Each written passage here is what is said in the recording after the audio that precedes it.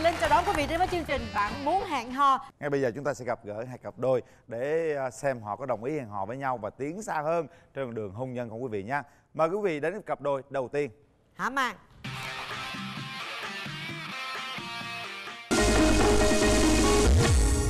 mọi người đừng em truyền thống nhưng có pha một tí hiện đại đừng có nam tính như là năm um, hoa khôi nam em em nghĩ là em rớt toàn tập rồi Mời bạn Nam.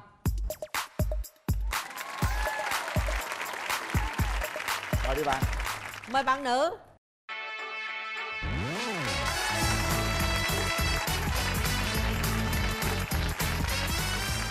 Rồi chào em Rồi chúng ta giới thiệu về mình. Em giới thiệu về mình trước dạ chào chị Cát Tường chào anh Quyền Linh em bạn. tên là Nhật Trang em hiện là giáo viên cấp 2 của trường uh, Chu Văn An quận 1 em ở Thủ Đức Em bao nhiêu tuổi? dạ em 26 26 tuổi dạy môn gì? dạ em dạy văn Dạy văn Rồi bên kia mời giới thiệu dạ em xin chào à, anh Quyền Linh và chị Cát Tường và quý vị khán giả em tên là Cường sinh năm 1988 hiện à, quê quán ở Bến Tre Bạn làm à, nghề gì? dạ em hiện nay là kỹ sư bên mảng viễn thông À, chúng ta trải qua mấy mối tình rồi bạn? mối tình chính thức thì em chưa có thì chủ yếu em mất hai mối tình đơn phương thôi Đơn phương thôi hả? Cũng lạ nha. Trai giờ sao còn duyên nhiều quá nha. à, Bạn nữ thì sao? Mình đã trải qua bao nhiêu mối tình rồi? à, ba chị ba mối tình Mối tình gần đây nhất là bao lâu rồi bạn? dạ cách đây khoảng uh, gần 2 năm Cái ưu điểm với khuyết điểm của mình là gì? em nghĩ chắc là sống uh, lạc quan vui vẻ khá là hòa đồng tính tình em thì hơi uh, thẳng thắn Thế mình Dạ. có cái tật xấu gì không? Thứ nhất á, là em ở đây cũng khá là lâu rồi nhưng mà em không có lành đường ở Sài Gòn. Rồi còn một điều nữa là nhiều khi á, do công việc của em á, khá là bận, khá là nhiều cho nên mẹ nói là em hay hơi lười chút xíu. Tại vì khoảng thời gian mà em rảnh, em được nghỉ ở nhà thì em thường hay dành cái thời gian đó một là ngủ, hai là lên giường và đọc sách. Em có thể đọc sách hoặc lên giường nằm chơi trên giường từ sáng đến chiều. Vậy là không làm việc nhà luôn, mẹ làm hết Dạ không, công việc nhà thì em làm. Ý là Vậy khoảng là thời gian rảnh rỗi mình rảnh rỗi, Dạ. mình có bạn trai rồi mình đi chơi với bạn trai Rồi, à, bây giờ mình sẽ tìm một người yêu như thế nào? mỗi người lẫn em có thể là thân hình nó cân đối một tí. À, Bạn có Còn thích mẫu nữa? người à, nó nhìn nó tóc à, hơi dài một tí. Tóc dài, rồi. Dạ. Hiện đại hay là, thích cổ truyền thống? em thích ờ, người phụ nữ ờ, truyền thống nhưng có pha một tí hiện đại. Chứ đừng có truyền thống quá. Rồi. À, Mình có ờ, tiêu chuẩn giống ai hay là như thế nào không? Cái mẫu người lý tưởng của mình á. Em thích những, ờ, những mẫu người mà hiện hiện kiểu miền tây chị. Như là hoa hậu năm um, hoa khôi nam em Một ước mơ cũng gần quá ha. Không, cái đó là hình mẫu lý tưởng thôi anh còn hiện thực thì ờ, mình làm sao mà... Rồi, bây giờ em không thích gì ở người phụ nữ? dạ em không thích người phụ nữ là nam tính quá tính tính kiểu, kiểu, như tomboy quá À. với lại ờ, ăn mặc thì kiểu lè lẹt quá Nghe bạn nam chia sẻ vậy thì bạn nữ cảm thấy như thế nào? Mình à, có đúng cái tiêu chuẩn bạn nam đưa ra không? Em nghĩ là em rớt toàn tập rồi. Sao vậy? Thứ nhất, em khá là nam tính, khá là hiện đại. Ảnh đâu, ảnh nó vừa truyền thống có chút hiện đại mà. Nhưng nhưng mà nghe thì chắc là cái truyền thống nó sẽ nghiêng nhiều hơn lại lên cái hiện đại. Nhưng mà cái đó chỉ là một trong những suy nghĩ của người ta thôi. Khi mà người ta gặp nhau thì hình như mọi thứ đó nó không, không là vấn đề gì cả. Đúng rồi. Trong tình yêu mà Đôi khi mà mắt nhìn mắt mà tiếng sét nó đã có rồi thì bất chấp. Cái đó tiêu chuẩn chỉ tắt tham, tham khảo thôi. Tham khảo thôi. Dạ. Đúng rồi. Bạn nữ có đặt cái tiêu chuẩn bạn nam như thế nào không? Em vốn dĩ là người đơn giản cho nên ờ, chiều cao chỉ cần cao hơn em. Về tính tình chỉ đơn giản người đó sống hòa nhập, đó là sống vui vẻ, hài hước. Người đàn ông thì lúc nào nên nói thì nói, lúc nào nên trầm thì trầm. Là người biết lo và quan tâm cho gia đình. Bạn thấy yêu cầu bạn gái bên kia có đáp ứng được bao nhiêu phần trăm không? dạ à, em thấy cũng cỡ hơn 50 năm tại tính em cũng trầm lắm chứ không có kiểu nó nói nhiều Ừ. Mình có ờ, điểm nào không thích ở người bạn trai không? Dạ thứ nhất là luận thuộm, thứ hai là gia trưởng. Nghĩa là Em hai người mới chia sẻ với nhau không áp đặt suy nghĩ của người khác ờ, cho nhau. Ừ. Vậy thôi.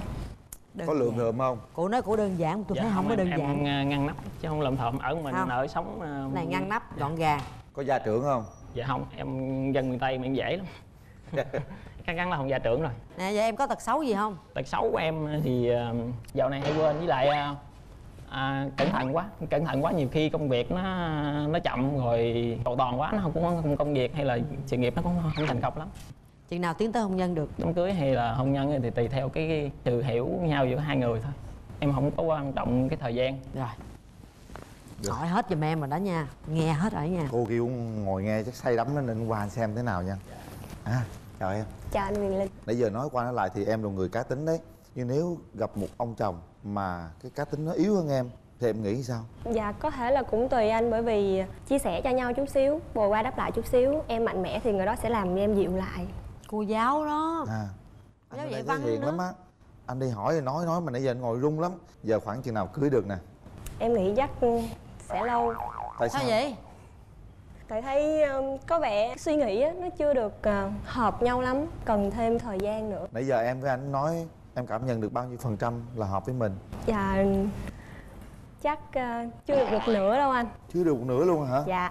Biết đâu được mình gặp nhau mình nhìn nhau sẽ hiểu nhau nhiều hơn thì sao? Dạ. Chờ tới lúc đó ta sẽ quyết định. Dạ. Bây giờ vậy mình à, thăm dò thêm ý kiến của người- những, à, những người thân đi theo mình đi. Dạ. Nè em có đi với ai không? Dạ em đi với anh họ của em và một người bạn của em nữa. Rồi. Dạ em chào anh Quỳnh Linh, à, chào chị Cát Tường ạ. rồi, chào, bạn.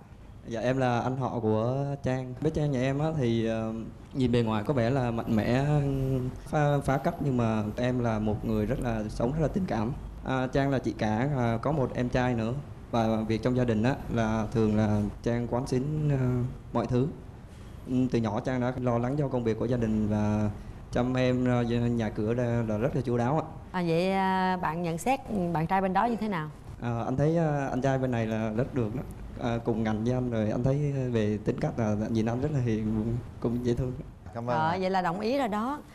À, bạn trai bạn đi với ai? Em đi với à, hai người bạn đồng nghiệp. Dạ em chào anh uh, Quyền Linh và chị Cát Tường. Chào bạn. Thì à, em là bạn của bạn Cường.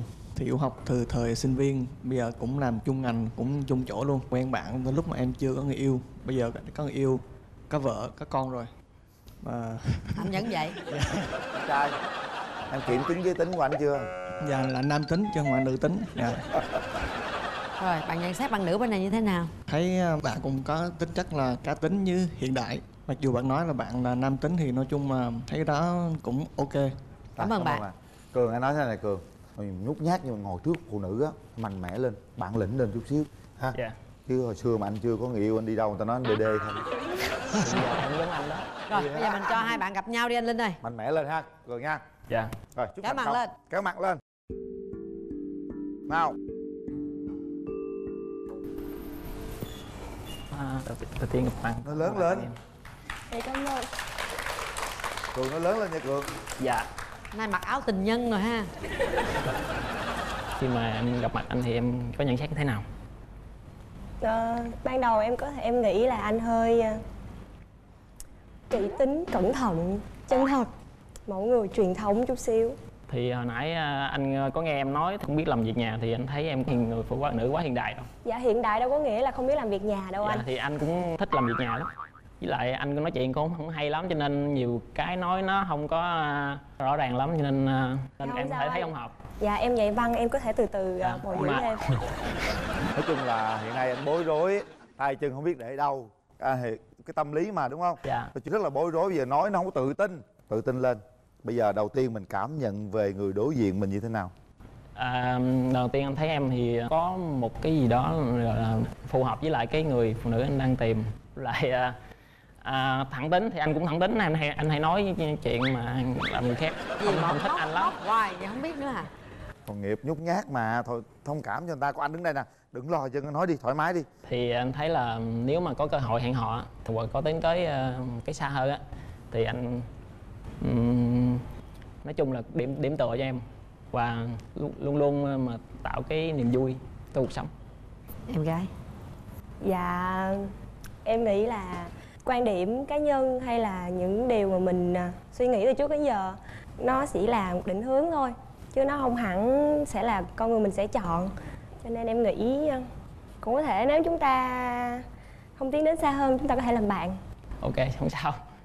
Rồi, Rồi. hết thời gian các bạn suy nghĩ thật kỹ. Rồi đặt tay lên nút bấm đi bạn. Trên sóng truyền hình trước hàng triệu người theo dõi người thân của mình bà con hàng xóm họ đang chờ giây phút này. Những giây phút hết sức là nghiêm túc. Chỉ 3 tiếng đếm chúng ta quyết định bấm nút là tiến xa hơn và tạo cho mình một cơ hội. Còn nếu không cảm giác trái tim nó rung động không cảm giác hợp với nhau chúng ta có thể không bấm nút. Một hai ba.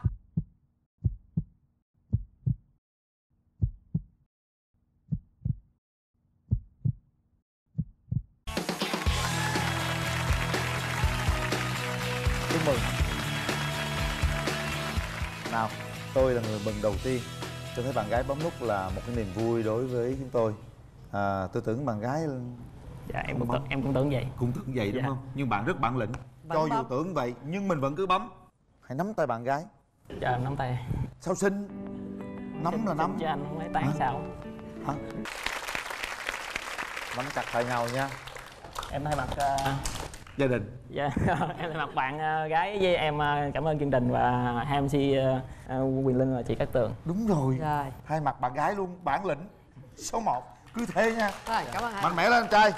Nào nắm tay bạn gái đừng buông ra. Dù bất cứ lý do nào nắm chặt vô đi đâu vô đó. Tại sao hôm nay bạn đến đây mắt bạn buồn không người ta nói em mặt em nó, buồn như thế thôi. Với phần nãy giờ trời ơi, đói bụng quá chị vậy hả? Mẫu người lý tưởng giống ai? Giống chú Huyền Linh. Đẹp không có Huyền Linh? Cô gái chốt câu chốt câu cuối tưởng không bấm nút chứ. Tình yêu mà khó nói được lắm. Lưu lưu con tim em nó thích bạn trai chỗ là biết mình cả ba cả anh và em lẫn bạn trai đều Đúng nghĩ rằng rồi. cô gái không bấm nút. Nhưng mà em hồi hộp khi mà cô gái bấm cái khóc rồi em nói chết rồi cô gái bấm có khi nào chàng trai không bấm là, là tréo tréo ngoe nữa. Ừ. cuối cùng chàng trai bấm luôn hay thiệt. Thôi bây giờ mình đã hoàn thành nhiệm vụ à, đợt đầu tiên rồi. Lo cho đợt thứ hai quá. Chúng ta đến với cặp đôi thứ hai của ngày hôm nay. Hả mà mời bạn nam.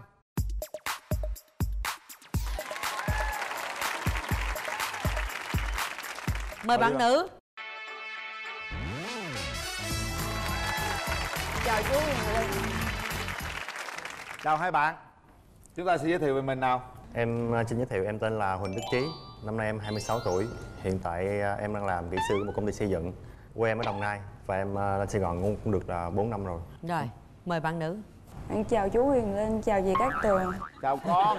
Chào anh bên kia và chào anh chị khán giả. Em tên là Duyên, em đến từ Cần Thơ Năm nay em 22 tuổi. Công việc hiện tại của em là tư vấn tài chính. Ở ờ, cần thơ hay là ở sài gòn? Dạ ở thành phố Hồ Chí Minh luôn. À là mình làm việc trên đây rồi ha. Mình giới thiệu một chút về bản thân mình điểm mạnh về điểm yếu của mình.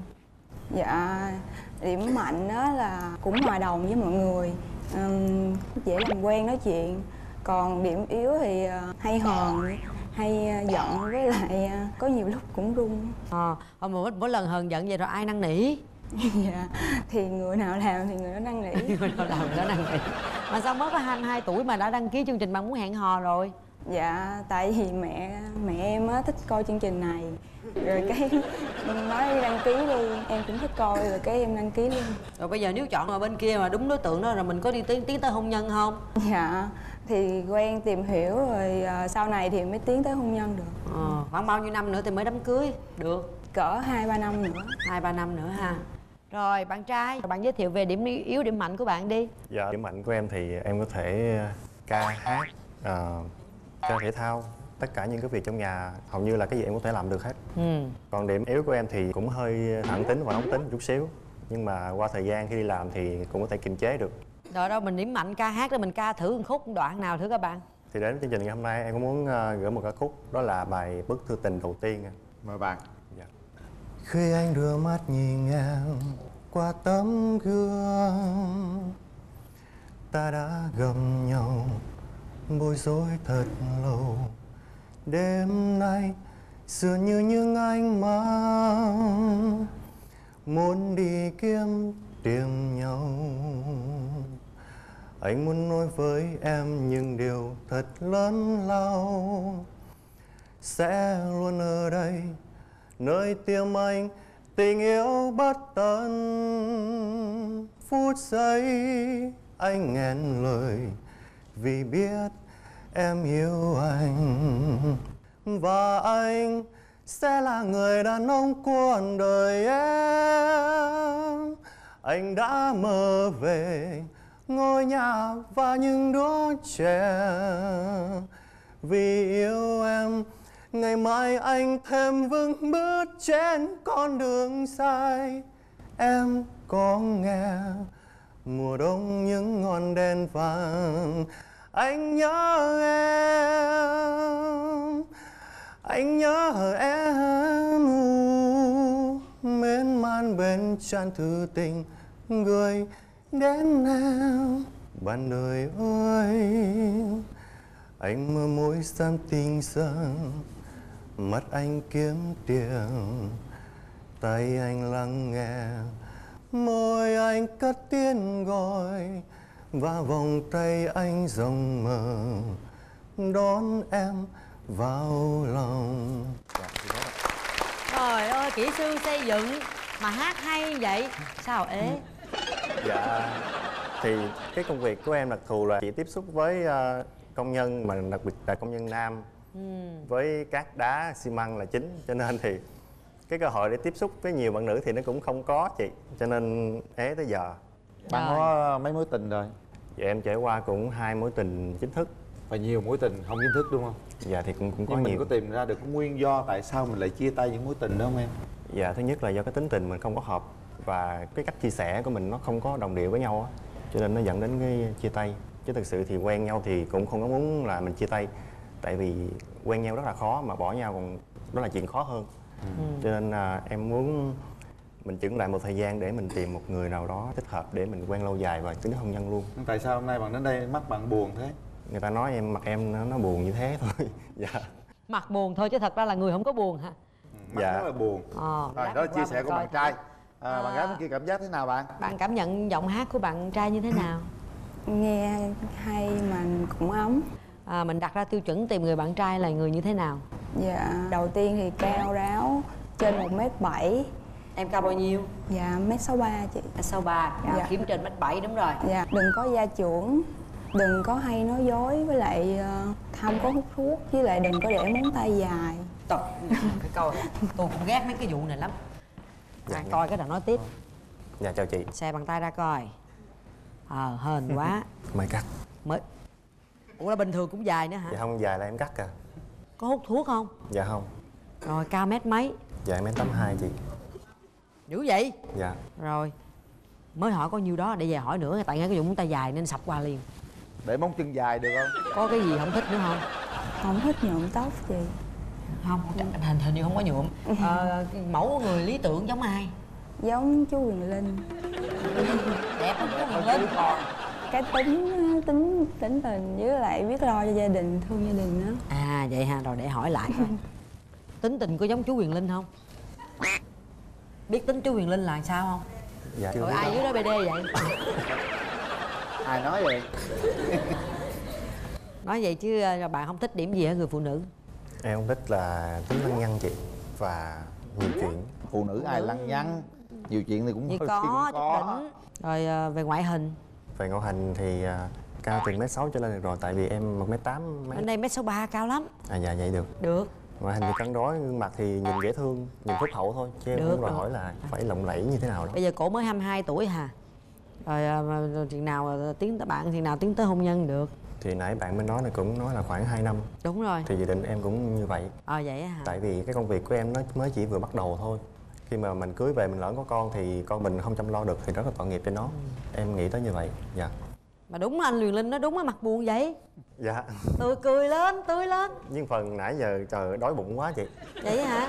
Rồi vậy chúc hai người dẫn nhau đi ăn luôn mời bạn gái đi ăn luôn. Dạ. Cười lên. Rồi vậy nha chúc kéo màn lên là phải cười y chang vậy nha. Con đẹp trai mà. Để hôm qua Dễ coi đàn thương. gái thế nào nha. Ta nói cần thơ gạo trắng nước trong ai đi đến đó lòng không muốn về. Thử có về không? Ồ chào con. Dạ. rồi dễ thương quá. Mẹ kêu đi đăng ký chương trình bạn muốn hẹn hò. Biết mẹ có gửi gắm yêu cầu gì nãy có không nghe rồi. Mẹ kêu thì người thì con chọn là được rồi nhưng mà nói với bạn trai là nếu mà có quen rồi cưới về á là yêu cầu duy nhất là đừng có trả gì nên sản xuất là được. Mẹ nào mà dễ thương như vậy. Dễ thương quá. Được rồi. Nè được. Ổn. Vậy bữa nay mẹ có lên theo không? Dạ không chị. Mà bữa nay có đi ai đi theo ủng hộ mình không có mấy anh chị đồng nghiệp với cái chị cùng phòng với bạn của em Ồ, đông lắm hả có mấy người chào các bạn Dạ Em ờ, chào anh Quyền Linh và chị ờ, Cát Tường. rồi chào bạn Em chào các bạn trên sân khấu bạn muốn hẹn hò. Duyên là cô bé thật sự em ở chung thì em thấy rất là dễ thương. Ờ, rất là quan tâm đến người khác. Đôi khi tính tình có hơi bướng bỉnh chút xíu. Nhưng mà thực sự là em nghĩ là anh mà gặp cô bé đó thì chắc anh cũng sẽ bấm nút thôi. rồi nhận xét về ảnh thì như thế nào? Ờ, em thấy thì anh cũng là người chững chạc nhìn cũng ờ, được có cơ hội hai người gặp nhau thì có thể tìm hiểu ờ, lâu dài hơn. Trai đi với ai em trai? Dạ hôm nay em đi một mình ạ. Một mình hả? Rồi có mọi người ủng hộ bạn nha. Vấn đề giờ hai người sẽ gặp nhau. Tươi lên tươi lên. Cười Trời ơi tươi hai lên. người này mặt buồn quá. Một cô gái cười nha dễ cười liền các bạn trai. Rồi hai ba cười. Chào anh.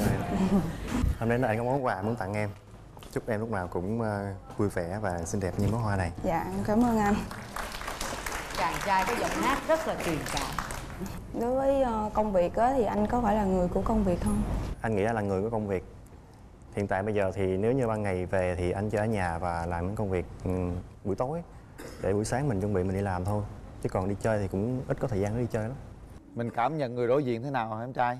Dạ Bạn gái rất là dễ thương Rất là nhìn rất là là hiền hậu. Còn nhỏ nhõng nhẽo hay giận hay hờn chịu khó năn nỉ nha. Dạ cái đó em chỉ được. Ừ chị được hả? Bạn gái cảm nhận bạn trai như thế nào? Ừ, nghe giọng thì thấy nghiêm với lại anh có gia trưởng không? Thì nói về gia trưởng thì nếu mà gia trưởng quá thì cũng không tốt. Nhưng người đàn ông cần phải có một cái chính kiến của mình ở gia đình. Thí dụ như là một cái sự kiện, một việc gì đó cần phải có một quyết định. Thì người đàn ông là người quyết định sau cùng. Đối với anh là như vậy nếu như cô ấy nhõng nhẽo thì em trị bằng cách nào Nếu mà nhõng nhẽo thì em nhõng nhẽo lại được không thì để coi anh nhõng nhẽo sao chứ chưa thấy ai nhõng nhẽo Thôi giờ thử là nhõng nhẽo coi anh nhõng nhẽo sao thôi giờ em không chịu không chịu đâu rồi sao thôi cái đó cái đó nhõng nhẽo thì nhõng nhẽo hai người thôi chứ nhõng nhẽo nhiều người sao nhõng nhẽo được đúng rồi hát một câu gì đó tỏ tình đi Tự nhiên nói giờ em không biết hát bài gì luôn lâu đài tình ái. Dạ. Anh sẽ vì em làm thơ tình anh Anh sẽ gom mây kết hình lâu đài. Vì lâu đài. Hai câu hết. Dạ. rồi. Rất là dễ bây giờ chúng ta chỉ còn à, suy nghĩ và bấm nút thôi các bạn đây là giây phút quan trọng. Những phút ngắn ngủi mình tâm sự với nhau nhưng cũng đủ để mình kiểm tra lại cảm xúc của mình. Suy nghĩ thật kỹ. Một hai ba. Hết thời gian.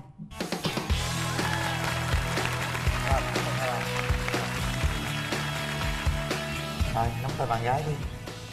Xứng đôi quá ha xứng đôi à. Trai tài gái sắc đấy. Hãy cố giữ lấy nha những gì mình có ngày hôm nay nó là một cái kỷ niệm đầu đời rất là đẹp và tôi nghĩ rằng à, hạnh phúc sẽ rất là mau đến với các bạn. À, hãy nắm tay được bạn gái đi xem phim đi. Đưa về Cần Thơ nhậu với ông già nha. Wow. Rất dễ thương. Vậy là hai cặp đôi hai cặp đôi đã đồng ý bấm nút, thưa quý vị. Chúng ta đang mong chờ những kết quả tốt đẹp. Cảm ơn quý vị và các bạn quan theo dõi. Và bây giờ xin kính chào và hẹn gặp lại.